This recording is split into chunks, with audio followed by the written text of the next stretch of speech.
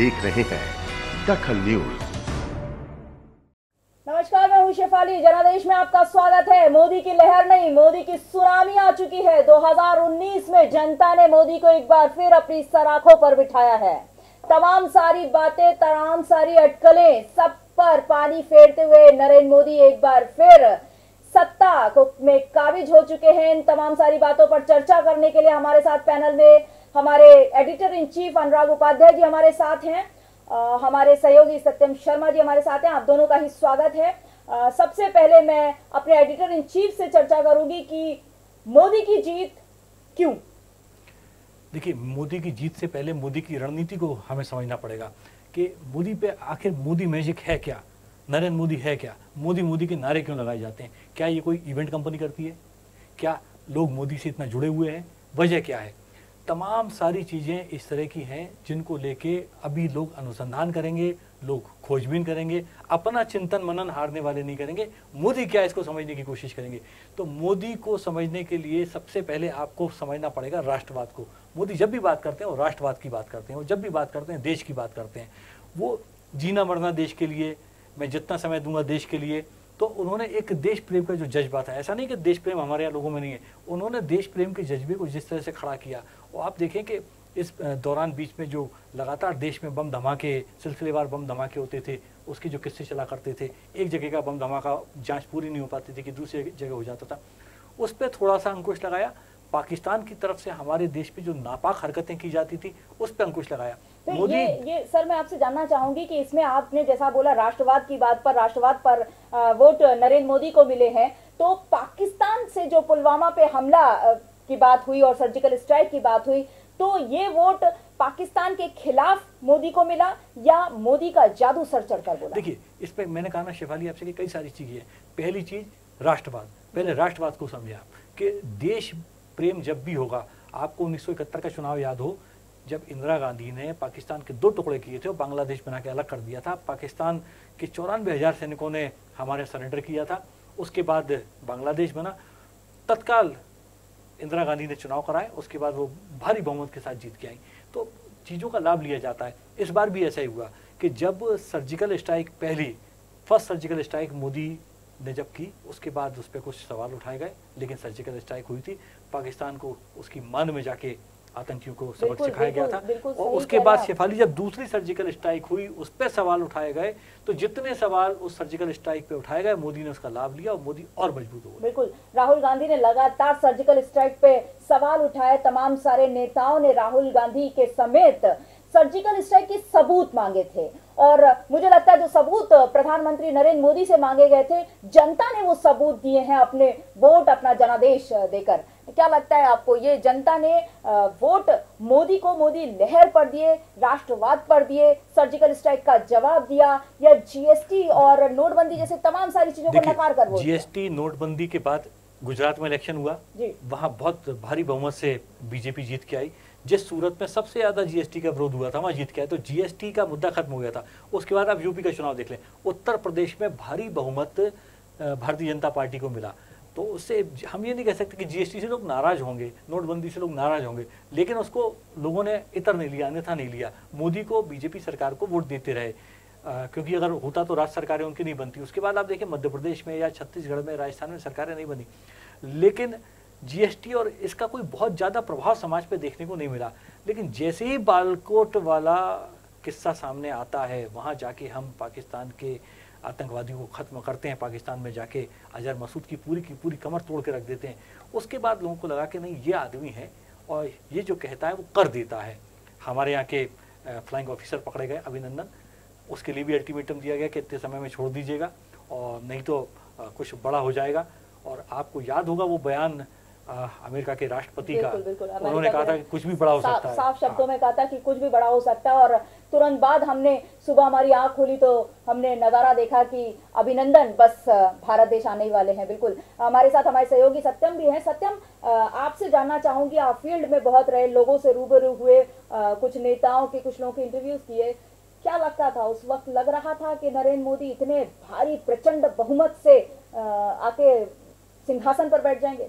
जी, जैसे मैं भोपाल की बात करें तो भोपाल पे जैसे मैं लोगों से इंटरेक्ट हुआ तो लोगों का बोलना था कि हमने साध्वी प्रज्ञा को तो नहीं, लेकिन नरेंद्र मोदी को वोट दिया। नरेंद्र मोदी के राष्ट्रवाद जो था, राष्ट्रवाद को देखते हुए और विकास। ऐसा नहीं है कि नरेंद्र मोदी ने विकास नहीं किया। नरेंद्र मोदी पीएम रहते हुए उन्होंने बहुत सारे विकास कार्य किए जीएसटी एक मुद्दा ज़रूर आया था, जीएसटी और नोटबंदी का, जिसके बाद से नरेंद्र मोदी को बैकफुट में भी जाना पड़ा। कहीं कहीं उन्होंने बोला कि हाँ कुछ लोगों को नुकसान हुआ है, कुछ लोगों को बड़ी लंबी लंबी लाइनों में जो आम जनता है, उसको खड़ा होना पड़ा। उसके बाद से थोड़ा सा बैकफुट पे बीजेपी गई थी, लेकिन उसके बाद जो, जैसे सर ने कहा कि जो यूपी में इलेक्शन हुए, जो गुजरात में इलेक्शन उसमें भारी भारी मतों से जो यूपी में जीत हुई थी बीजेपी की उसके बाद से ऐसा लगा नहीं कि जीएसटी के कारण जनता ने मोदी को सत्यम अपन भोपाल की बात करें साध्वी प्रज्ञा को जनता ने वोट नहीं दिया वोट कमल के फूल पर पड़ा भगवा पे पड़ा।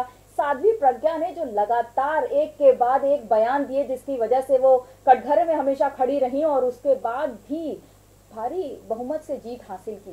कारण क्या रहा? लोगों से मैं इंटरेक्ट हुआ लोगों को बोलना था कि हम राष्ट्रवाद को वोट कर रहे हैं हम विकास को वोट कर रहे हैं हम साधी प्रज्ञा प्रज्ञा को वोट करेंगे। दिग्विजय सिंह की दिग्विजय सिंह का जो जो इमेज लोगों के बीच में बनी है वो निगेटिव बन के रह गई क्योंकि उन्होंने जो भगवा आतंक और भगवा को लेकर जो विवादित बयान दिए उसके बाद से दिग्विजय सिंह की जो इमेज थी जनता के बीच वो थोड़ी सी धूमिल हुई थी। उसके बाद से जो भगवा दिग्विजय सिंह को कांग्रेस ने उतारा उसके बाद से भगवा के लिए एक एक एक एक, एक चीज़ और सत्यम, आप फ़ील्ड में जाते थे शेफाली आप भी लगातार जाते रहे, लोगों से मिलते रहे। दिग्विजय सिंह का जो कार्यकाल था, मध्य प्रदेश में 10 साल उन्होंने जो शासन किया, उन्नीस सौ तिरानवे से लेकर 2003 तक, सड़कों के गड्ढे हों या बिजली का ना होना हो, पानी की कमी हो विकास के नाम पे कोई काम नहीं होना है सिर्फ़ करप्शन। ये सारी चीज़ें कहीं ना कहीं लोगों के जहन में थी। बिल्कुल लाइट बिजली का मुद्दा तो सबसे बड़ा था कि लाल लोगों को अभी तक नहीं बोला था कि हम लाल टेन में पढ़ाई कर रहे थे या रात रात में लोग जग जग जाते थे एक बजे रात लाइट गोल हो जाती थी लोग जग जाते थे। तो जो सड़क बिजली पानी का मुद्दा था वो सामने शेफाली आपकी शेफाली एक स्टोरी आपकी देखी थी। मैं उसकी चर्चा करना चाहूँगा कि वो बड़ी रोचक सी स्टोरी थी। दिग्विजय सिंह मध्य प्रदेश विद्युत मंडल के जो अधिकारी हैं उनको धमका रहे थे कि अगर लाइट गई तो। और दिग्विजय सिंह ने ये भी कहा था कि कांग्रेस आई और बिजली गई। ये एक नारा सा बन गया है। उस उस उस वक्त के पाप दिग्विजय सिंह को हर बार, हर मंच पे अपने भाषण देते वक्त याद आ जाते थे और वो अपना सारा गुस्सा, अपनी नेगेटिविटी हमेशा विद्युत मंडल के अधिकारियों पे उतार देते थे। और मैं आपको बताऊँ अनुराग जी, कि जब भी बात हुई वोटर्स से और दिग्विजय सिंह को लेकर बात हुई कि दिग्विजय को वोट क्यों नहीं तो बहुत से ऐसे लोगों से मेरी मुलाकात हुई जो उस वक्त जिनके पिता, माँ या बड़े भाई जो बेरोजगार हुए और उनकी बेरोजगारी के कारण उनको ज़िंदगी एक सफ़र करनी पड़ गई और वो आज की डेट में जब वोटर बने तो बोला, हमने जब इतने मुश्किल में अपनी पूरी ज़िंदगी गुजार दी और हमने सिर्फ़ सफ़र किया है तो हम दिग्विजय को वोट क्यों दे? लेकिन एक दूसरी तरफ़ साध्वी प्रज्ञा से भी लोग खुश नहीं थे। उनके विवादित बयानों के कारण लोग नाराज़ थे और वो नाराज़गी प्रधानमंत्री नरेंद्र मोदी में भी दिखी और उन्होंने साफ़ शब्दों में कहा कि साध्वी प्रज्ञा को मैं दिल से कभी माफ़ नहीं कर पाऊँगा। अनुराग जी, मैं आपसे जानना चाहूँगी कि साध्वी प्रज्ञा को कहा है नरेंद्र मोदी जी ने कि कभी मैं उनको दिल से माफ़ कर नहीं पाऊँगा तो उसका खामियाजा साध्वी कैसे भुगतना मैं पहले साध्वी प्रज्ञा के बारे में बता दूँ कि अखिल भारतीय विद्यार्थी परिषद से मध्य प्रदेश के भिंड ज़िले की रहने वाली लहर की और एबीवीपी की राजनीति करते करते मालेगांव ब्लास्ट हुआ सोनी जोशी हत्याकांड हुआ जहाँ इनके नाम जुड़े और इनको अभी मालेगांव ब्लास्ट माले में कोर्ट में केस है जमानत पे वो बाहर है। तो उनकी छवि इतनी साफ़ सुथरी नहीं थी लेकिन चूँकि एक शब्द का इस्तेमाल दिग्विजय सिंह ने कहीं गलती से कर दिया था। आ, वो रिकॉर्ड पे भी आया अखबारों में छपा। हिंदू आतंकवाद। हिंदू आतंकवाद ऐसा शब्द था जिसको लेके संघ राष्ट्रीय स्वयंसेवक संघ हमेशा चौकन्ना रहा और उसका जवाब दिग्विजय सिंह को देना था। भोपाल में स्थिति ये थी कि आलोक संजर अगर चुनाव लड़ते तो साध्वी प्रज्ञा से भी ज़्यादा उनको वोट मिलते। ये सच्चाई है। साध्वी प्रज्ञा को वोट नहीं मिला है। साध्वी प्रज्ञा किसी और पार्टी से खड़ी हो जाती तो उनकी जमानत जब्त हो जाती भोपाल में। उनको उनकी जिस कॉलोनी में रहती है वहाँ के वोट भी नहीं मिलते। बिल्कुल। सच्चाई ये है। ये सारा का सारा वोट जो मिला है ये मोदी को मिला है। साध्वी किसी मुकालते में ना रहे। साध्वी ने तो अपना खेल पहले बयान से ही हेमंत करकरे पे जब बयान दिया था उससे बिगाड़ दिया। और आपने की मोदी साहब की बात नरेंद्र मोदी जी बड़े स्पष्टवादी है उन्होंने साफ़ कहा है। नरेंद्र मोदी जी हमें देखना पड़ेगा कहाँ से आते हैं गुजरात से। गांधी जी कहाँ से आते थे? गुजरात से। गांधी जी को चुनौती नहीं दी जा सकती इस देश में। गांधी जी पूरी दुनिया में जाने जाते हैं अपने कर्मों के कारण। गांधी जी अब सिर्फ़ एक गांधी व्यक्ति नहीं था गांधी एक विचार था। तो आप विचार को चुनौती नहीं दे सकते। नाथूराम गौड़ से कैसा भी था हत्यारा था। आपने उसकी पैरवी करके एक गलत कदम उठाया जिसपे नरेंद्र मोदी को कहना पड़ा। और मैं आपको बता रहा हूँ, शेफाली जी, आप देखिएगा, साध्वी प्रज्ञा को इसका खामियाजा भुगतना पड़ेगा। नरेंद्र मोदी की गुड बुक में ये महिला कभी नहीं आएगी। बिल्कुल, आप बिल्कुल ठीक बोल रहे हैं अनुराग जी कि नरेंद्र मोदी की गुड बुक में तो कम से कम साध्वी प्रज्ञा कभी आ नहीं पाएँगी, लेकिन मैं अब आपसे तीन राज्यों की बात करूँगी। वो तीन राज्य जिनमें अभी नवंबर में ही चुनाव हुए थे विधानसभा के और भारी बहुमत से तीनों ही राज्यों में कांग्रेस ने अपना सिक्का जमाया था, लेकिन अफसोस की बात यह है कि वो अभी लोकसभा चुनाव में कुछ नहीं बचा पाई। मैं राजस्थान की बात करूँ तो 25 में से 25 सीटों पर मध्य अपनी बीजेपी ने अपनी सत्ता जमाई है। वहीं अगर मध्य प्रदेश की बात करूँ तो 29 में से 28 सीटें बीजेपी के पाले में आई हैं और छत्तीसगढ़ की अगर बात करें तो 11 में से 9 बीजेपी ने हासिल की हैं।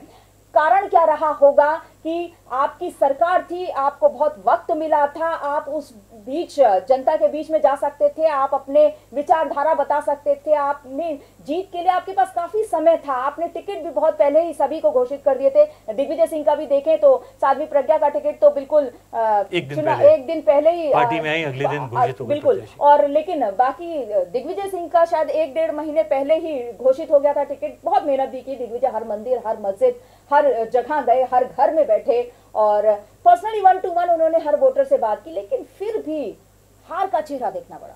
देखिए, दिग्विजय के प्रति इतनी नकारात्मकता लोगों के दिमाग में बढ़ गई थी कि दिग्विजय सिंह का नाम आते ही, दिग्विजय सिंह यानी लाइट का ना होना, दिग्विजय सिंह का नाम यानी सड़कों का ना होना, उन्होंने एक विजन डॉक्यूमेंट दिया।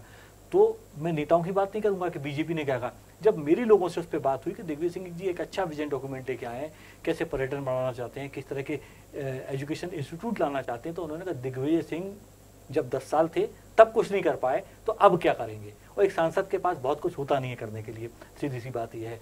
तो लोगों को ये पता था कि चूँकि मोदी जीतेंगे, मोदी की सरकार बनेगी, लोग मन बना चुके थे, इसलिए उन्होंने दिग्विजय सिंह को सिरे से नकार दिया। और दिग्विजय सिंह का पिछला कार्यकाल जो था मुख्यमंत्री का, वो ऐसा नहीं था कि उनको वोट दिया जाए, उनको लेके लोग किसी तरह का कोई रिस्क लेना नहीं चाहते थे। जी बिल्कुल। मध्य प्रदेश में उनतीस इसमें इसमें इसमें तो आप सत्यम से पूछे सत्यम आप ज़्यादा जाते थे बाज़ार में मार्केट थोड़ा सा एड ऑन करना चाहूँगा कि दिग्विजय सिंह जो कांग्रेस है कांग्रेस में भीतर घात भी कुछ कहीं ना कहीं लगा रहा क्योंकि जो कांग्रेसी आपस में हमेशा इनके में आपस में लड़ाई चलती थी बिल्कुल तीन नाम थे। दिग्विजय सिंह कमलनाथ और ज्योतिरादित्य तीनों के पाले अपने अपने थे और तीनों ही एक दूसरे पे अपना वर्चस्व दिखाने के लिए नरेंद्र मोदी जी और शिवराज जी हर सभा में कहते थे कि मध्य प्रदेश में ढाई ढाई मुख्यमंत्रियों की सरकार चल रही है। लोगों लोगों का तो यहाँ तक कहना था कि कमलनाथ जी ने दिग्विजय सिंह को फंसा दिया भोपाल से लड़ा कर तो सुपर सीएम होने की जो छवि है थोड़ा परिष्कार शब्द यूज़ कर रहे हैं कि फंसा दिया। लोग ये कह रहे थे लोग ये कह रहे थे कांग्रेस के लोग ये कह रहे थे कि दिग्विजय सिंह को निपटाने की रणनीति कमलनाथ कमलनाथ ने अपनाई। बिल्कुल मैं बात करूँगी 29 में से 28 सीटें बीजेपी के पाले में हैं। एकमात्र सीट कांग्रेस की जो कांग्रेस को मिली है एकमात्र सीट वो है नकुल नाथ की जो मध्य प्रदेश के इस वक्त मुख्यमंत्री हैं। उपचुनाव भी था विधानसभा का जिसमें कमलनाथ ने जीत हासिल कर ली है। कमलनाथ मुख्यमंत्री हैं बीजेपी के। और चूँकि छिंदवाड़ा सॉरी कांग्रेस के मुख्यमंत्री कमलनाथ और उनके बेटे नकुलनाथ जिन्होंने लोकसभा सीट एकमात्र एक सीट हासिल की है कांग्रेस ने यहाँ से नकुल नाथ की जीत सिर्फ़ इसलिए कि छिंदवाड़ा से उनको टिकट मिला नकुल नाथ देखिए हो जाता। नकुल नाथ की स्थिति और साध्वी प्रज्ञा की स्थिति एक सी है। नकुल नाथ के आगे से नाथ हटा दिया जाता तो नकुल नाथ की जमानत जब्त हो जाती और साध्वी प्रज्ञा के आगे से मोदी हट जाता कि मोदी के लिए वोट जा रहा है तो साध्वी की जमानत जब्त हो जाती। ये सच्चाई है। मैं इसमें बताना चाहूँगा कि इस बार का जो चुनाव था लोग कह रहे थे कि कोई लहर नहीं है। मीडिया भी उस लहर को उतना नहीं भाग पा रहा था। जब एग्जिट पोल आए तब लोगों को लगने लगा कि नहीं माहौल प्रधानमंत्री नरेंद्र मोदी के फेवर में है। लेकिन मध्य प्रदेश की स्थितियाँ इतनी खराब होंगी कि बड़े बड़े दिग्गज जो आप मोदी की सुनामी मोदी की सुनामी शब्द ले रहे हैं वाकई ये सुनामी है कि बड़े बड़े दिग्गज धराशायी हो गए। सिंधिया खानदान का कोई व्यक्ति हारता नहीं था। उन्नीस सौ चौरासी में माधुराव सिंधिया ने अटल बिहारी वाजपेयी को नाकोचा ने चबा दिए थे वाजपेयी साहब जैसा व्यक्ति हार गया था। आप देखें कि गुना से वहाँ ज्योतिराज सिंधिया हार जाते आप ज्योतिराज सिंधिया की आज गढ़ है उनका। ग्वालियर चंबल क्षेत्र उनका राज रहा है। सिंधिया साम्राज्य फैला हुआ लेकिन लेकिन इस चुनाव से शेफाली आप देखिए एक बड़ा संकेत मिला है कि एक तो जो जातिवादी गणित थे वो गड़बड़ा गए सारे के सारे। और दूसरा राजे रजवाड़े परिवारवाद व्यक्तिगत पसंद पे लोगों ने वोट दिया। ज्योतिराज सिंधिया को अब सबक लेना चाहिए कि अब आप वो महाराजा नहीं है अब आप वो हाथ ऐसे चढ़ा चढ़ा के बात करेंगे लोगों से लोग आपको स्वीकार नहीं करेंगे आप दूसरे नेताओं की मिमिक्री करेंगे तो लोग मनोरंजन के लिए ताली बजाएँगे। और ये वो जनता है जो बंदर के नाच पे भी ताली बजा देती है तो आप अंदाज नहीं लगा सकते कि लोग आपके साथ खड़े हैं आपके खिलाफ खड़े हैं। कहीं ये नहीं लगता कि ज्योतिरादित्य सिंधिया बहुत ज़्यादा ओवर कॉन्फिडेंस में थे वो अपनी सीट छोड़कर उत्तर प्रदेश में राहुल गांधी का अमेठी चुनाव बचाने में लगे हुए थे और खुद वो हार गए। उनकी पत्नी ने कमान संभाली हुई थी यहाँ गुना में लेकिन हार का चेहरा देखना पड़ा देखिए सिंधिया में एक और बात थी वो हारे किससे कांग्रेस का एक जिसको कांग्रेस ने टिकट नहीं दिया केपी यादव। हाँ, कृष्णपाल टिकट नहीं। दिया तो केपी यादव लड़े बीजेपी से और उन्होंने एक लाख से ज़्यादा वोटों से जीत हासिल की। इन्हीं के रूठे प्रत्याशी ने इन्हीं के रूठे हुए वो कार्यकर्ता ने इनके देखिए उसमें दो चीज़ें थी। एक तो यादव थे इसका बड़ा भारी असर पड़ा। इससे बीजेपी ने एक मैसेज कन्वे किया कि जो पिछड़ा वर्ग है उसको साथ लेके चल रहे हैं और एक महाराज के खिलाफ एक आम आदमी को उतार दिया। ये व्यक्ति उनके चुनाव में अहम भूमिका निभाता था। ज्योतिरादित्य जी की जो कहना चाहिए, जो राजनीतिक नशे हैं, उनसे वाकिफ था। उसका उसने भरपूर फ़ायदा लिया और व्यक्ति चुनाव जीता। और ये हमारे लोकतंत्र की खूबी है।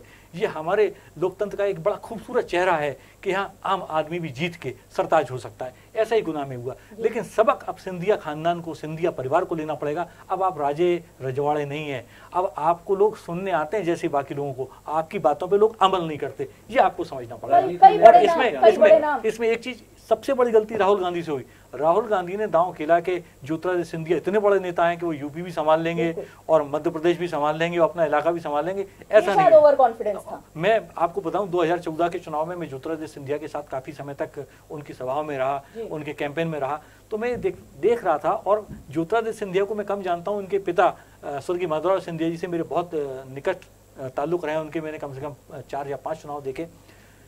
उनमें इनमें ज़मीन आसमान का अंतर है। माधवराव सिंधिया जी एक ज़मीन से जुड़े हुए थे, वो राजे रजवाड़े अपनी जगह थे, लेकिन विकास, काम करना सब था। ज्योतिरादित्य सिंधिया थोड़े से बड़ बोले आदमी है। इनका बड़ बोलापन जो है, वो गुनाह, शिवपुरी, ग्वालियर के लोग स्वीकार नहीं करते थे। और धीरे धीरे स्वीकार, इनकी स्वीकारता कम होती जा रही थी। उसी का नतीजा है कि आज उन्हें हार का चेहरा देखना पड़ा। बिल्कुल, अब जनता वो नहीं रही कि महाराज सड़कों पर निकलेंगे और जनता जी हुजूरी करेगी। जनता को आता है जनादेश देना। अनुराग जी बड़े बड़े नाम बड़े बड़े नेता शिकस्त खा गए। सिंधिया जी की बात की? दूसरा नाम दिग्विजय सिंह जी की हमने बात की कि दिग्विजय सिंह जी को सबक सिखाया जनता ने। एक और बड़ा नाम अजय सिंह। मध्य प्रदेश में नेता प्रतिपक्ष रहे। राजनीति के चाणक्य कहे जाने वाले पूर्व मुख्यमंत्री अर्जुन सिंह के बेटे उनकी विरासत संभाल रहे थे। आप देखिए उनका हशर क्या हुआ है। पिछला चुनाव हारे थे इस बार सीधी से अपने घर से गृह ज़िले से वहाँ से फिर चुनाव हार गए। इसका मतलब कि आपकी मतलब एक शेर है कि आपके पैर के नीचे ज़मीन नहीं फिर भी आपको यकीन नहीं ये वो हालत हो रही थी। दुष्यंत कुमार का शेर है और बिल्कुल पूरी कांग्रेस पे इस समय फिट बैठता है। अजय सिंह जैसा बड़ा नेता आपकी भी मुलाकातें हुई हैं उनसे। सहज आदमी है अच्छे व्यक्ति हैं लेकिन लोगों ने आपको नकार दिया। तीसरा बड़ा नाम अरुण यादव मध्य प्रदेश कांग्रेस के अध्यक्ष रहे। केंद्र में मंत्री रहे मनमोहन सिंह जी की सरकार में। और बड़ा नाम था बड़े इटके चलते थे अरुण यादव जी नीचे देखते ही नहीं थे। उनको भी खामियाजा भुगतना पड़ा। आपके ऊपर जो घमंड हावी हो गया था आप कुछ तो भी बोलते थे लोगों ने आपको स्वीकार नहीं किया और सिरे से नकार दिया। अरुण यादव हुए विवेक तनखा हुए विवेक तनखा जी बड़ा नाम है बड़े वकील हैं। सारी चीज़ें आप देखिए और तमाम सारी अभी नियुक्तियाँ हुई, कहीं कुलपति बनवा दिए, कहीं कुछ करवा दिया। तो विवेक तनखा की कार्यशैली से कांग्रेस के लोग बहुत ज़्यादा नाराज़ थे। और खासकर मेरी जो जानकारी, वो पता थी कि विवेक तनखा से तो कमलनाथ भी नाराज़ थे। उन्होंने जिस तरह के कुछ फैसले कमलनाथ जी से करवाए, उसके बाद तो कोई ने बहुत ज़्यादा इंटरेस्ट नहीं लिया विवेक तनखा जी में। और सबको मालूम था कि राकेश सिंह जो बीजेपी के अध्यक्ष हैं महाकौशल में, बड़ा नाम है, बड़े नेता के रूप में उभरे हैं, उनसे मुकाबला है। और ये बड़ा जम के फैलाया गया था। मैंने उस इलाके का मुआयना किया, वहाँ देखा। राकेश सिंह की स्थिति बहुत बेहतर थी विवेक तनखा की तुलना में और विवेक तनखा जी को भी मुखी खानी पड़ी इस कारण समय ब्रेक का है ब्रेक के बाद जल्द हाजिर होंगे आप देखते रहिए दखल न्यूज़ और ब्रेक के बाद हम बात करेंगे कि हमारे कांग्रेस के राष्ट्रीय अध्यक्ष राहुल गांधी ने इस्तीफे की पेश, पेशकश की है और राहुल गांधी ने ज़िम्मेदारी ली है हार की और हार हारे क्यों राहुल गांधी इस पर हम चर्चा करेंगे।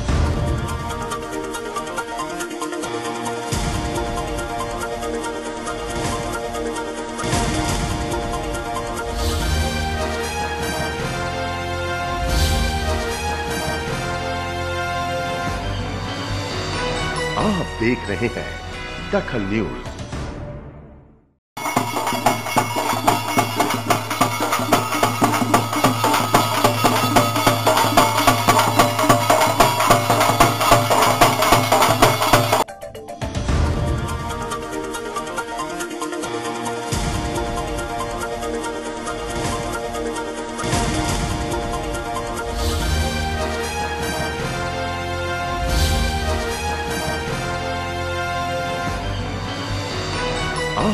रहे हैं।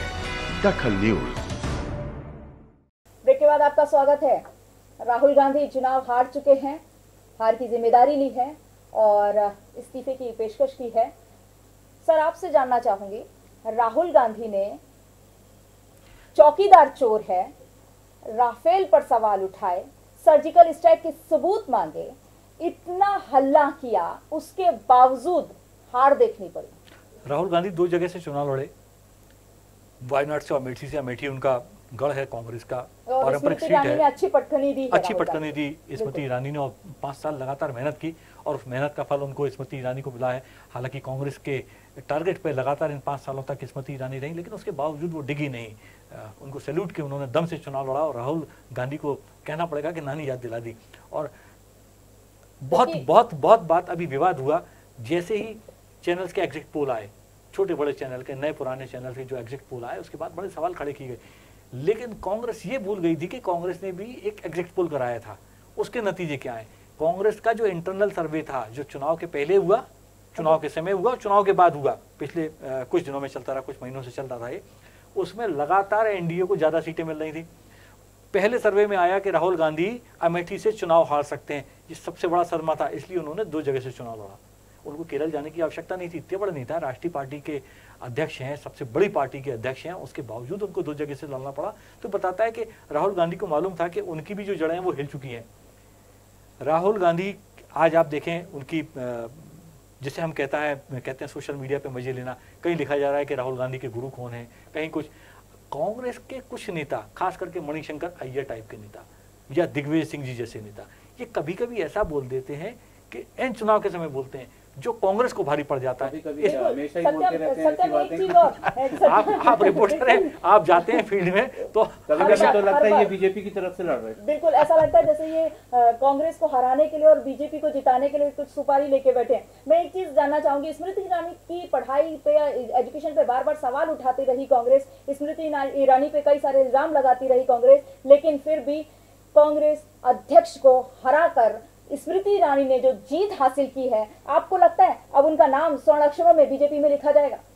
निश्चित तौर पर जो स्मृति ईरानी ने जैसी जीत हासिल की है राष्ट्रीय अध्यक्ष को हराया किसी राष्ट्रीय अध्यक्ष को हराना इतनी आसान बात नहीं होती है लेकिन स्मृति ईरानी की जो हार्ड वर्किंग थी जो स्मार्ट वर्किंग थी और जो मोदी की लहर नहीं जो तूफ़ान चल रहा था मोदी का उसने स्मृति ईरानी को जिताया है। स्मृति ईरानी ने जब केंद्रीय मंत्री रही बीजेपी कार्यकाल में अभी अभी हैं भी तो उन्होंने जो कार्य किए वो काबिल तारीफ़ के कुछ में उनकी बहुत खूबियाँ भी नज़र आई, जिसके कारण वो अमेठी में जो उन्होंने मुद्दे उठाए कि इस तरह अमेठी दस साल, इतने सालों से लगभग कांग्रेस का गढ़ रही है गांधी परिवार का गढ़ रही है, उसके बाद जितना विकास नहीं हुआ है, उस जिस लेवल पर विकास होना चाहिए तो वो विकास नहीं हुआ है, उस विकास को पाने के लिए स्मृति ईरानी ने आवाज़ उठाया। और जो कार्य किए स्मृति ईरानी उससे साफ़ तौर पर ज़ाहिर हो गया था पहले भी कि ये यहाँ से स्मृति ईरानी जीतेंगे इसलिए राहुल गांधी को एक और सीट अपनानी पड़ी वायनाड की सीट केरल बगला पर उत्तर से दक्षिण की ओर भगते हुए राहुल गांधी उत्तर से भगे और दक्षिण पहुँच हाँ हाँ गए राहुल गांधी। इस चुनाव की एक खूबी और है।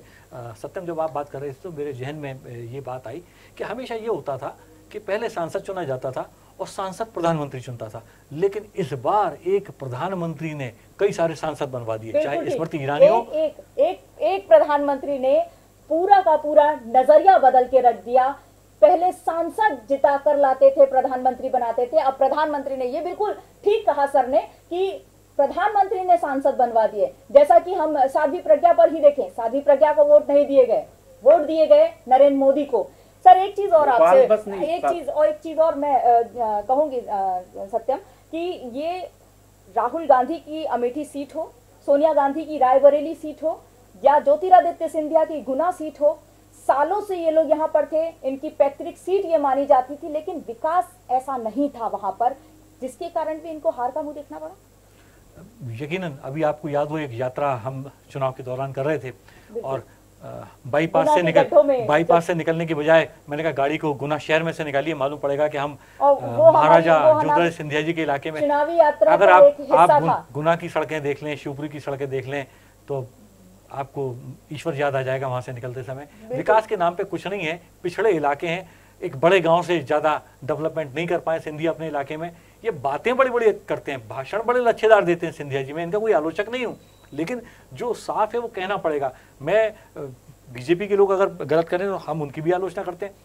एक चीज़ और बताऊँ इस, इस चुनाव की जो बड़ी खूबी थी सत्यम आपने भी इसको क्योंकि आप फ़ील्ड में लगाता रहते हैं शिफाली जी आप रहती हैं फ़ील्ड में तो आपने देखा होगा कि इस चुनाव के मुद्दे क्या थे? इस चुनाव के मसले क्या थे?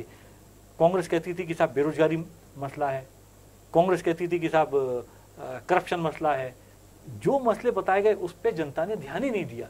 सर यहाँ पर मसलों पे बात ही कहा हुई चुनाव में? चुनाव में बात हुई चौकीदार चोर है तो नरेंद्र मोदी ने कहा हाँ मैं चोर हूँ और पूरा देश इस, इस, चौकीदार इस, है। इस, इसको समझना पड़ेगा। नरेंद्र मोदी की एक खूबी है अगर आपको 2014 का कैंपेन याद हो तो अभी सत्यम ने नाम लिया मणिशंकर अय्यर का। मणिशंकर अय्यर साहब ने कहा कि अब क्या चाय वाला प्रधानमंत्री बनेगा? ये एक उन्होंने एक जुमला छोड़ा। हाँ, उन्होंने अगले दिन से कहा कि मैं चाय वाला हूँ मुझे इस पे गर्व है। और उसके बाद आप देखो चाय चौपाल चुनाव में शुरू हो गई चाय पे चर्चा शुरू हो गई और मोदी ने अपने आप को चाय वाला बना दिया। इस बार राहुल गांधी ने गलती की कि मोदी ने जब कहा कि मैं चौकीदार हूँ तो उन्होंने उसके आगे चोर लगा दिया। और ज़बरदस्ती एक ऐसा शब्द जिसमें कांग्रेस परिवार पूरी तरह से खुद लिप्त है। आप सारे के सारे जमानत पे हैं। और प्रधानमंत्री हमारे यहाँ जो भी पद है, कभी राहुल गांधी के पिताजी भी, जब राजीव गांधी जी भी प्रधानमंत्री थे और बोफोर्स घोटाले में उनका नाम आया तो उनकी इतनी छीछा लीदर विपक्ष ने नहीं की थी। हम सम्मान करते थे, विपक्ष के नेता भी सम्मान करते थे प्रधानमंत्री का। हमारे यहाँ प्रधानमंत्री पद बहुत बड़ा होता है। व्यक्ति, कोई भी हो व्यक्ति से हमारे राग द्वेष हो सकते हैं, पद से नहीं हो सकते। जब इन्होंने प्रधानमंत्री को चोर कहना शुरू किया तो इनका जो कैंपेन था, इनको जिसने भी सलाह दी थी राहुल गांधी जी को, कई बार राहुल गांधी जी को शब्द को यूज़ नहीं करना चाहिए, पप्पू कहते हैं लोग तरह तरह के उनके लिए प्रयोग किए जाते हैं, नाम। लेकिन वाकई उनकी बुद्धि पर तरस आता है कई बार। कि आप देश के प्रधानमंत्री को चोर कह रहे हैं? आप नारे लगवा रहे हैं उसके लिए? आपको लगता है आप इससे चुनाव जीत जाएँगे? आपके साथ जनता ने सलूक किया। जनता ने आपको सबक सिखाया। वो इसलिए कि नेगेटिव कैंपेन अब स्वीकार नहीं किए जाते। इस समय ज्योतिरादित्य सिंधिया चुनाव हार गए हैं। लेकिन उनको लेके मध्य प्रदेश में जब बीजेपी की सरकार थी शिवराज सिंह चौहान ने कैंपेन लॉन्च किया कि बस करो महाराज। अपना नेता अपना तो अपना नेता तो शिवराज।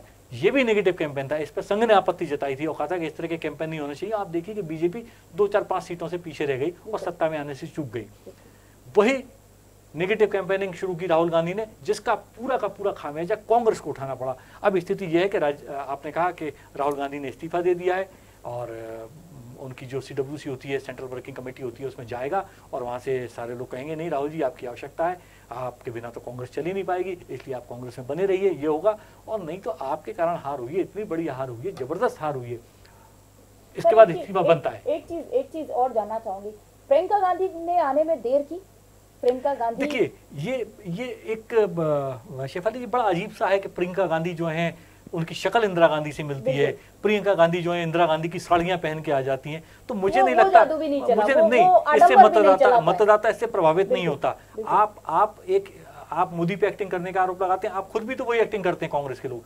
तो जो आपके भीतर का एक्टर है वो जागृत हो सकता है इससे लेकिन मतदाता बड़ा चतुर है। मैंने तो ये देखा है शिफाली जी कि कई कई बस्तियों में आप आप भी चूँकि फ़ील्ड में खूब रिपोर्टिंग की है तो आपको पता चलता होगा कि साहब आज कंबल बटे मोहल्ले के मोहल्ले में या शराब बटी और रात को जिसने शराब पिलाई शायद उसको सुबह वोट पड़ेगा। आदमी इतना चतुर है कि जब पंचायत का चुनाव होता है वहाँ कोई बड़ा सिंबल नहीं होता दो पत्ती तीन पत्ती पे भी अपने आदमी को जिता के लाता है। तो मतदाता बहुत चतुर है। आप आज हम जिसकी बात करें जनादेश की जनता जन का आदेश बहुत शक्तिशाली है भारत की जनता और उसे क्या फैसला करना है उसको समझ के पहले पहले घरों में जाके कंबल बांटाते थे चुपचाप देरी रात में कुछ नोट भी बांटाते थे शराब की बोतलें भी बढ़ जाती थी और जिससे उम्मीद की जाती थी की जीत हासिल कर लेंगे और इस बार तो खुले मन से बहत्तर हज़ार रुपए भी बांटे गए, लेकिन वो जादू चल नहीं पाया। जनता अब चतुर हो चुकी है। वो आपके पैसे पर नहीं बिकती, अपने वोट पर आपको आदेश देती है। सत्यम, मैं एक चीज़ और जानना चाहूँगी आपसे कि आपने बहुत रिपोर्टिंग की आप फ़ील्ड में रहे लोगों ने दिग्विजय सिंह को कोसा। कांग्रेस की सरकार थी मध्य प्रदेश में। क्या वजह रही? क्यों नहीं वो वोटर्स को विधानसभा में खींच पाए तो लोकसभा में क्यों उनसे दूर हो गए वोटर देखिए जैसे ही विधानसभा में कांग्रेस आई कांग्रेस की आते से ही आते से ही कांग्रेस की लाइट गोल होना शुरू हो गई। सबसे बड़ा फैक्टर ये रहा। जो उनने एक वायदा किया था कि उसमें भी तो इल्ज़ाम दिग्विजय सिंह ने भारतीय जनता पार्टी पर डाल दिया था कि इनके कहने के इनके इशारे पर। डाला, हाँ, कमलनाथ ने भी डाला। उसके बाद जो ऋण माफ़ी की योजना का उन्होंने एक एक योजना लेकर आए थे उसमें उन्होंने कहा था कि किसानों के ऋण माफ़ हो गए। बहुत सारे किसान ऐसे थे हालाँकि कमलनाथ का दावा था कि 25 करोड़ किसान का 25 करोड़ किसानों का ऋण माफ़ हो चुका है। लेकिन उसके बाद भी जो किसानों के सोशल मीडिया पे जो दिख रहे दिखाए जा रहे थे कि उधर मुख्यमंत्री शिवराज सिंह चौहान ने भी कहा कि ये तो ऐसे फेंका जा रहा है कहीं भी किस, किस, किसानों के ऋण माफ़ नहीं हुए। लेकिन जब देखा गया तो उन्हें पता चला कि किसानों के ऋण माफ़ सच में नहीं हुए थे। शिवराज सिंह चौहान का कहना था जब बैंक को पैसे दिए ही नहीं जाएँगे तो किसान के ऋण माफ़ कैसे होंगे? ऋण माफ़ी होती है जब बैंक से पैसे किसानों के बड़ा बड़ा टेक्निकल मसला टेक्निकल मसला तो इसमें जो वायदे किए थे वो पूरे हुए नहीं दिखे। तो इस, इस वजह एक वजह ये भी हो सकती है और एक वजह ये ये भी हो सकती बहुत बड़ा सत्यम, मसला है सत्यम कम समय में कांग्रेस को जनता ने पहचान लिया और त्रस्त हो गई जिस कारण भड़बड़ा के वोट जो है नरेंद्र मोदी के पाले में गिर पड़े। नहीं इसमें मैं सत्यम ने जो कहा है मैं उस सत्यम की बात को आगे बढ़ाना चाहूँगा कि जब विधानसभा चुनाव हुए मध्य प्रदेश में चुनाव से पहले जब कांग्रेस के नेता भाषण देते थे खास करके राहुल गांधी साहब जब भाषण देते थे तो एक बात कहते थे हर किसान का कर्जा माफ़ किया जाएगा। हर किसान का कर्जा माफ़। आपने ये नहीं कहा था कि दो लाख माफ़ करेंगे आपने ये नहीं कहा था कि बीस रुपया माफ़ करेंगे आपने ये नहीं कहा था कि सात सौ रुपया माफ़ करेंगे उसमें से कि हमारे इफ़ एंड बट होंगे उसमें लेकिन किंतु परंतु होंगे और इस, उस हिसाब से हम कर्जे को माफ़ करेंगे। तो जब सत्यम जो कह रहे हैं उसमें बात में बड़ी दम है कि और शिवराज सिंह ने भी उसको अपने तरीके से टेक्निकली उठाने की कोशिश की बैंकों के ज़रिए कि कर्ज माफ़ी का आपने दस दिन में वादा किया तो दस दिन में किसान के खाते में पैसा पहुँच जाना चाहिए था। चुनाव के पहले आपके पास था लेकिन आप वो काम कर ही नहीं पाए। आप कागज़ बनाते रहे। दूसरी आप ट्रांसफ़र पोस्टिंग में लग गए। भैया आप मंडला भेज दो भोपाल के अधिकारी को और मंडला वाले को भोपाल ले आओ। भोपाल वाले को जबलपुर कर दो। मध्य प्रदेश का आदमी मध्य प्रदेश में ही रहेगा वो सरकारी काम ही करेगा। बिल्कुल बिल्कुल। आप अपने फ़ायदे के लिए। उसके बाद आप देखिए कि मन से प्रधानमंत्री ने भी आरोप लगाया कि मध्य प्रदेश में भ्रष्टाचार होता है और करोड़ों रुपया पकड़ा जाता है। ये सच्चाई है। कि हर काम के लिए पैसे का लेन देन हुआ बड़े पैमाने पर तबादला खाली उन्होंने कहा था कि हम अब व्यवस्था ठीक करेंगे तो भैया व्यवस्था तो पहले भी चल रही थी। आप अपने माकूल अधिकारियों को दायमाए कर सकते थे। आपने तो थोकबंद सारे घर के बदल डालूँगा टाइप से तबादले शुरू कर दिए। उसका भी बहुत बड़ा खामियाजा इनको भुगतना पड़ा। फिर इन्होंने जो मंचों से अधिकारियों कर्मचारियों को धमकाना शुरू किया। भैया वो अधिकारी कर्मचारी जब आपकी सरकार थी तो आपके थे। जब बीजेपी की आई तो बीजेपी के हो गए। अब आपकी सरकार है तो फिर आपके हैं। तो आप जब लोग को डराते धमकाते हैं तो लोग पीड़ित हो जाते हैं। और फिर जब मैंडेट आता है तो इसी किस्म का आता है कि जब चार महीने पहले आपके साथ खड़े थे अब आपके खिलाफ हो गए सारे के सारे। बिल्कुल विपक्ष को तो बैठे बैठे बिल्कुल। मुद्दा मिल गया था कि राहुल तबादला सरकार बन गई तबादला उद्योग चालू हो गया। राहुल गांधी ने हर मंच से बयान ज़रूर दिए थे कि हर किसान का कर्ज माफ़ होगा लेकिन टर्म्स और कंडीशंस क्लियर नहीं की थी जो बाद में किसानों को समझ में आई कि हमारे साथ धोखा हो गया है और उन्होंने सिरे से नकार दी कांग्रेस। अनुराग सर, मैं आपसे एक चीज़ जानना चाहूँगी कि जब ये लोकसभा चुनाव की शुरुआत हुई तो एक जहरीली और गंदी राजनीति मंचों से शुरू हो गई। लोगों ने अनर्गल बयान देना शुरू कर दिए। उसमें चाहे आज़म खान हो, जयप्रदा के खिलाफ उन्होंने बहुत गंदा बयान दिया था, जो शब्दों को दोहराया नहीं जा सकता। राहुल गांधी ने प्रधानमंत्री जैसे संविधानिक पद पर बैठे व्यक्ति को चोर बोलने से गुरेज नहीं किया। सैम पित्रोदा ने हुआ तो हुआ कह दिया, और हम जानते हैं कि सिख दंगे में क्या हुआ था। ये जो जहरीली राजनीति अब जहरीली राजनीति का मुझे लगता है कि नतीजे आ गए हैं, इस पे हम बात ज़रूर करते हैं लेकिन अब हम भी ये कह सकते हैं हुआ तो हुआ। जनता ने भी यही कहा हुआ तो हुआ। अब जनता को भी मतलब नहीं है कि आप कौन से राहुल गांधी आपको सबक सिखा दिया आप कौन से ज्योतिरादित्य सिंधिया आपको सबक सिखा दिया आप कौन से दिग्विजय सिंह आपको सबक सिखा दिया। तो अब जनता भी यही कहती है हुआ तो हुआ जनता आपसे सीखती है। आप सोशल मीडिया पे ट्वीट करते हैं आपके नीचे सैकड़ों ट्वीट किए जाते हैं। उसमें एक शब्द है कि आपकी जो स्थिति होती है, वो उससे आपको अवगत करा देते हैं। ये चुनाव याद रखा जाएगा कि हमाम में किस कदर नंगे होते हैं लोग। ये चुनाव याद रखा जाएगा गंदे बोल के लिए, ये चुनाव याद रखा जाएगा बड़बोलेपन के लिए, ये चुनाव याद रखा जाएगा आरोप प्रत्यारोपों के लिए, ये चुनाव याद रखा जाएगा गड़े मुर्दे उखाड़ने के लिए। और मैं नहीं कह रहा कि बीजेपी ने कम किया या कांग्रेस ने कम किया या समाजवादी पार्टी ने कम किया हम तो कितना हम कितना स्तरहीन हो सकते हैं। प्रज्ञा भारती बिल्कुल। सबसे बड़ा उदाहरण है। मतलब मोदी को कहना पड़ा कि इसको मैं कभी माफ़ नहीं कर पाऊँगा। तो ये सबसे बड़ा उदाहरण है कि हम अपने सबसे निम्न स्तर पर कैसे जा सकते हैं राजनीति में सिर्फ़ इसलिए कि शायद हम जीत जाएँ हमको कुछ वोट ज़्यादा मिल जाए इसलिए हम सही बात नहीं कहेंगे हम गलत बात कहेंगे हम बात को इस अंदाज में कहेंगे कि शायद हमें वोट मिल जाए। उसके लिए हम कितनी घटिया शब्दों का इस्तेमाल करें। तो ये चुनाव मोदी की प्रचंड लहर मोदी की प्रचंड सुनामी मोदी के प्रचंड बहुमत के अलावा गंदे बोल के लिए भी याद रखा जाएगा। जी बताना चाहूँगी अपने दर्शकों को साध्वी प्रज्ञा उज्जैन महाकाल बाबा के दर्शन करने पहुँची है उनका शुक्रिया अदा करने पहुँची हैं। जीत के बाद साध्वी प्रज्ञा उज्जैन मंदिर में दर्शन कर रही हैं। अनुराग जी एक चीज़ और इतना सब हो गया जीत मोदी की है पाकिस्तान पे क्या असर पड़ेगा? देखिए पाकिस्तान पे बालकोट स्ट्राइक के बाद से पाकिस्तान पे असर पड़ने लगा। हमारे यहाँ के कुछ ज्ञानी लोग ज़रूर आ, सबूत मांग सकते हैं कि कितनी लाशें थी कितनी लाशें थी कितने लोग मारे गए हमारी उस सत्यम की इसको लेके एक दिन बहस भी हुई थी। आप सेना के ऊपर जब सवाल खड़े करते हैं तो दूसरा व्यक्ति सेना का लाभ भी लेगा उसने जो किया है। मोदी पे भी आरोप लगे कि साहब मोदी साहब जो है सेना का इस्तेमाल किया उन्होंने और चुनाव में उसका इस्तेमाल कर रहे हैं। तो भाई आप सेना को बीच में लेके आ रहे हैं आप सेना ने एक सर्जिकल स्ट्राइक की और सर्जिकल स्ट्राइक होती है और सैनिकों को सल्यूट करना चाहिए शांत बैठ जाना चाहिए। आप उस पर सबूत मांग रहे हो। नहीं इस पर कांग्रेस का कहना था कि कांग्रेस ने भी सर्जिकल स्ट्राइक की थी। और उसके ऊपर तुमने गुना नहीं। देखिए कांग्रेस की सर्जिकल स्ट्राइक मनमोहन सिंह के जमाने में छह सर्जिकल स्ट्राइक हुई ऐसी खबरें आई थी। उसके बाद एक आरटीआई लगाई गई। और गृह मंत्रालय गृह मंत्रालय ने जवाब दिया कि हमारे पास कोई रिकॉर्ड नहीं है किसी सर्जिकल स्ट्राइक का। उनके पास 2014 की पंद्रह की सर्जिकल स्ट्राइक का और बालकोट दो ही उनके पास रिकॉर्ड थे। उसके पहले की किसी सर्जिकल स्ट्राइक का कोई रिकॉर्ड नहीं जबकि सेना अगर सर्जिकल स्ट्राइक कर रही है तो कहीं ना कहीं कर रही है तो उसको कहीं ना कहीं नस्ती किया जाएगा कि इतने हथियार थे या इतना गोला बारूद था और कहाँ इस्तेमाल शिवाली जी जो कह रहा था ना कि ये बड़बोलेपन का चुनाव होता है इसमें बढ़ चढ़ के कि तुमने ये किया तो हमने भी ये किया। ये शोबाजी में लगे रहे और इन्होंने देखा ही नहीं कि जनता की नफ्ज क्या है, जनता की धड़कने क्या है, जनता चाहती क्या है। पाकिस्तान और रोज रोज के आतंकवाद से जनता त्रस्त हो चुकी थी। तमाम अपने लोगों को खो के जनता त्रस्त हो चुकी थी और वो कोई सॉल्यूशन चाहती थी। और बालकोट इसमें एक मिसाल मतलब इतना छोटा सा था कि स्ट्राइक हो गई, उसका शांत हो जाते। लेकिन ये मसला इतना गहरा गया, सबूत मांगे गए। इटली के पत्रकार ने सबूत ला दे दिए। बीबीसी ने कहा, नहीं हुआ। अब मालूम पड़ा कि आज भी 40 से 45 आतंकवादी अस्पतालों में पाकिस्तान में अपना इलाज करा रहे हैं। जो मरे वो तो मर गए। उसके बाद अजहर मसूद की क्या स्थिति हुई है? अंतर्राष्ट्रीय स्तर पर मोदी ने दबाव बनाया घेरा।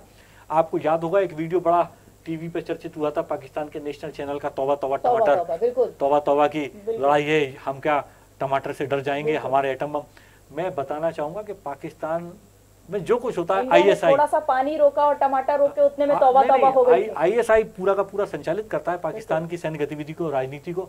आईएसआई के अफसरों की पत्नियाँ लाखों करोड़ों के जेवरात पहनती हैं बड़े बड़े महलों टाइप के घरों में वहाँ रहती हैं। वो लोग एटम बम चलाएँगे हमारे ऊपर जिनका सब कुछ बर्बाद हो जाएगा अगर हमारे यहाँ से एक बटन दबा दिया। था मेजर बक्सी के साथ था उन्होंने कहा जिनकी पत्नियाँ इतने बड़े बड़े जेवर पहनती ये सच्चाई है। वो सच्चाई है हमारे यहाँ संसद पे हमला हुआ। लेकिन लेकिन यहाँ पर मैं आप दोनों से कहना चाहूँगी 2014 में जब मोदी जी आए और वो पूरे विश्व का भ्रमण जब कर रहे थे सभी देशों में जा रहे थे दोस्ती का हाथ बढ़ा रहे थे लोगों ने बहुत सवाल खड़े किए थे कि नरेंद्र मोदी को घूमने का शौक है और वो विदेशों में घूम रहे हैं ये, ये और सरकारी पैसे को बर्बाद कर रहे हैं। ये तक कहा गया था कि नरेंद्र मोदी नक्शा लेके बैठते हैं दुनिया का कि कौन सा देश है कहाँ जाना है। और लेकिन उसका जवाब जब पाकिस्तान ने सिर्फ़ पुलवामा पे हमला किया तो नरेंद्र मोदी ने बता दिया कि वो विदेश में हर देश में घूमने जाते आप, थे आप, या दोस्ती बढ़ा रहे थे। और आप, और आपको बताओ अनुराग जी कि जैसे ही रुझान आना शुरू किए थे सबसे पहले इजरायली प्रधानमंत्री ने नरेंद्र मोदी को बधाई दी थी। हाँ, लड़ाके हैं वो वो जानते हैं वो मोदी की ताकत को जानते हैं मोदी के मिजाज को जानते हैं उनसे उनकी मित्रता है ताल्लुकात ठीक हुए हमारे देश के। मैं बताना ही चाह रहा था आपको कि पाकिस्तान की आपने बात की पाकिस्तान की स्थिति हुई कि मोस्ट फेवर्ड नेशन हमारा पाकिस्तान था हमने उसको दर्जा दिया। मोदी साहब ने बालकोट स्ट्राइक की अभिनंदन वापस आए। उसके बाद हमने वो उनके ऊपर कुछ इस तरह के कूटनीतिक कदम उठाए कि पाकिस्तान को हमने टमाटर नहीं दिया तो हाय तोबा मच गई नेशनल नेशनल न्यूज़ बनी। आज पाकिस्तान में एक सौ लीटर दूध है। संतरा हमारे यहाँ ऐसी बांट देते हैं खेतों पे। संतरा तीन सौ रुपए किलो है अनार चार सौ से सात सौ रुपए किलो है। पाकिस्तान की हालत खराब हो गई है। पाकिस्तान बर्बादी की कगार पे पहुँच गया है। पाकिस्तान में हाहाकार बचा है। नेपाल की करेंसी से नीचे चला गया है।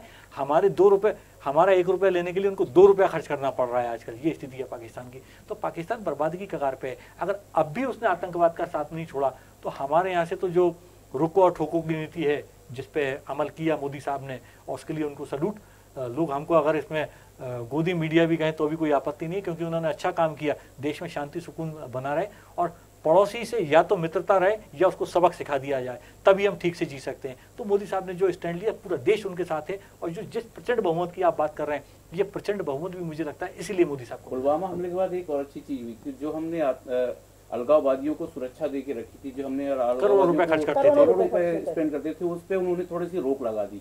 थोड़ी क्या बहुत सारी रोक लगा दी जिसके बाद पत्थरबाजी कम हुई जिसके बाद उन्होंने पाकिस्तान का गुणगान करना बंद कर दिया। आप वो अपनी लाइन पर आ गए तीन सौ सत्तर की कहानी अटकी हुई है।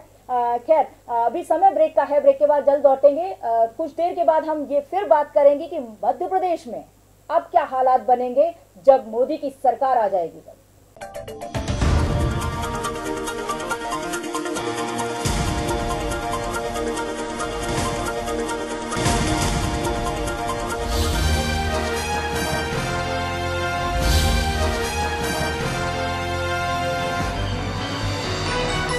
देख रहे हैं दखल न्यूज़।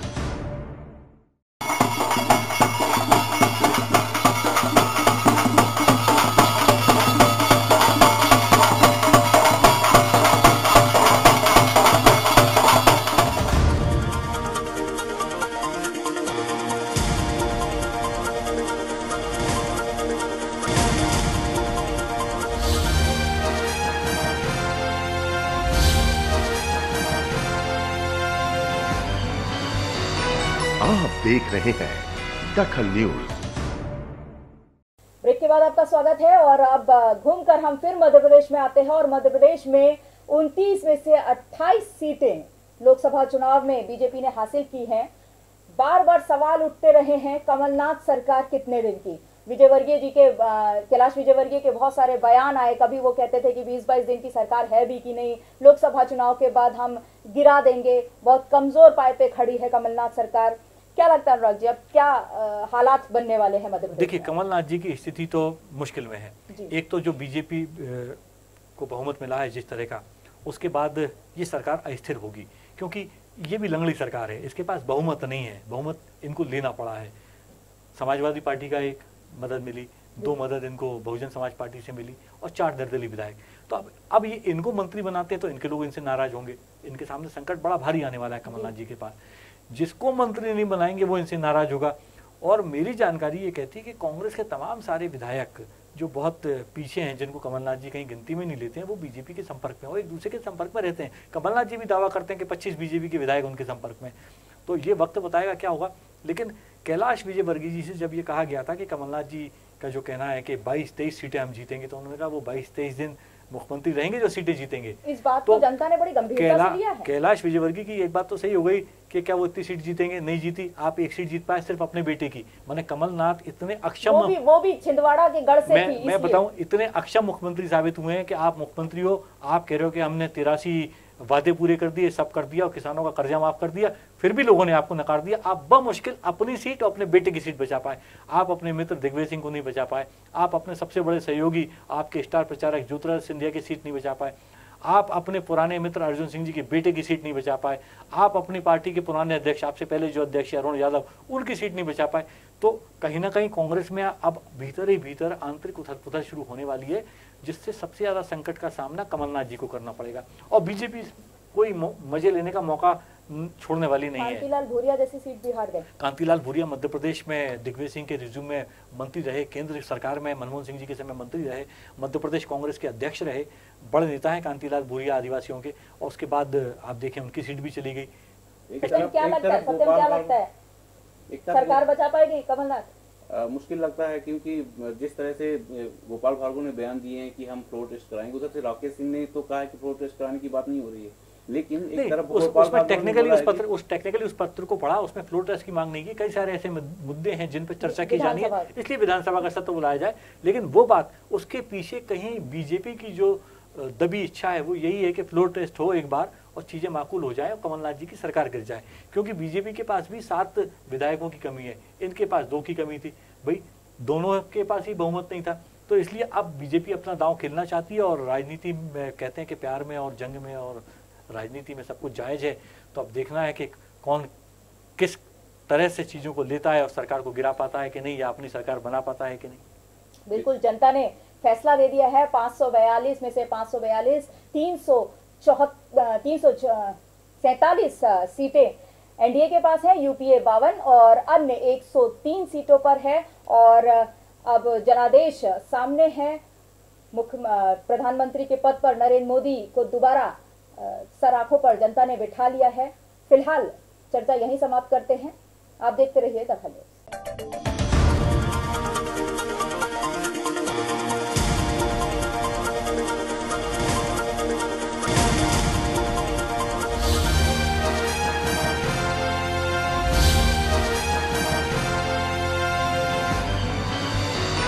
आप देख रहे हैं दखल न्यूज़।